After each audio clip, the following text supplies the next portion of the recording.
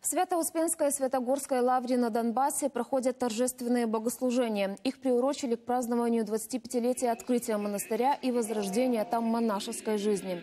На праздничную литургию в Святогорскую лавру приехали политики и паломники из всех регионов страны.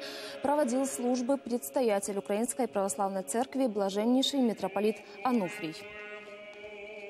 В этих тяжелых условиях Лавра показывает пример миролюбия и помогает тем людям, которые пострадали вследствие этого военного столкновения. Люди приходят отсюда очищенными новыми людьми, которые могут строить что-то красивое, полезное и созидательное. Война закончится, будет мир. И вот тогда, когда будет мир, в нашей церкви и у Лавру в том числе будет еще одна задача, одна миссия – объединить людей, врачевать те раны, которые в сердце каждого после этой войны остались. То, что не делает государство, будет делать церковь.